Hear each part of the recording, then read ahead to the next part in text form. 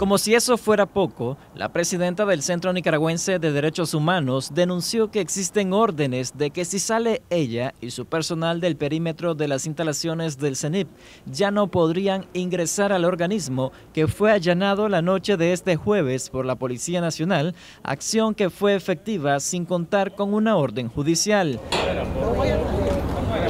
Por fuera, entonces. cancelada la No podemos salir porque ya nos dijeron que Por fuera, entonces, por fuera, por fuera.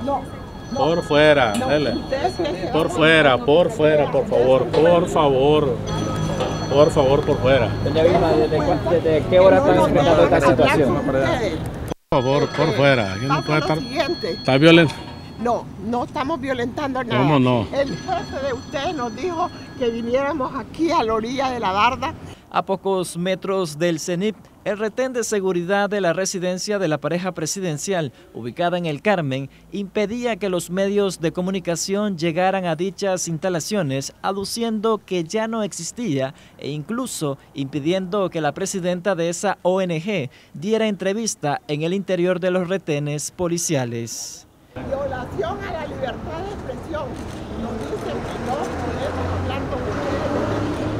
¿Cuánto tiempo va a permanecer aquí, doña Vilma? Presos, nos declaramos presos, estamos prácticamente retenidos, impedidos de nuestra libertad de circulación, pero no nos vamos a dejar provocar, no vamos a facilitar que nos capturen, que nos retengan, que nos echen presos por salir allí.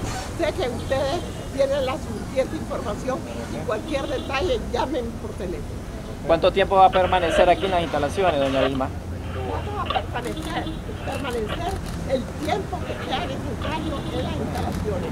Así como se metieron anoche que se metan a sacar, porque ya es lo único que damos. Lo único que nos preocupa son las evidencias de cosas que han dejado dentro de la institución. Dejaron personas dentro de. Yo sé que a lo mejor personas no saben, porque no fue un comportamiento policial, fue un comportamiento delincuencial. Similar situación tuvo que enfrentar esta mañana el Instituto de Estudios Estratégicos y Políticas Públicas, quienes también fueron allanados por la Policía Nacional luego de que el pasado 11 de diciembre, por orden ejecutiva, los diputados de la Asamblea Nacional removieran su personería jurídica. Entendemos que con lujo de fuerza, eh, que han eh, penetrado en las instalaciones de la, de la organización. Eh, esto ocurrió alrededor de las 8 de la mañana. Tenemos conocimiento que hay efectivos de la, o habían hasta hace poco, tenemos que corroborar eso, efectivos de la Policía Nacional que entraron por el portón, mismo portón que en su momento fue abierto el 28 de septiembre cuando entraron con una orden de allanamiento y que nosotros abrimos como organización que siempre ha estado dispuesto a acudir ante las autoridades. No recibimos notificación, no teníamos conocimiento y realmente eh, consideramos que es un acto completamente innecesario en contra de nuestra organización.